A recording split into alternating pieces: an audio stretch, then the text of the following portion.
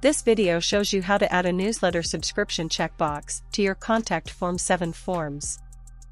When someone checks the checkbox, then submits the form, they'll get added to your newsletter. You can then send them one-time newsletters or automatically notify them whenever you publish new content on your site.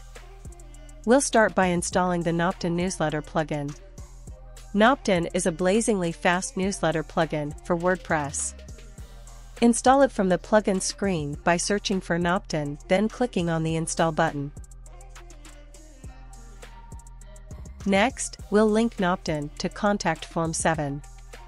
To do this, open any contact form then click on the Noptin tab to open the Noptin settings.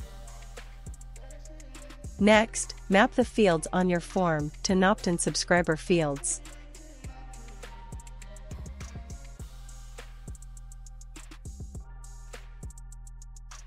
Finally, save your changes.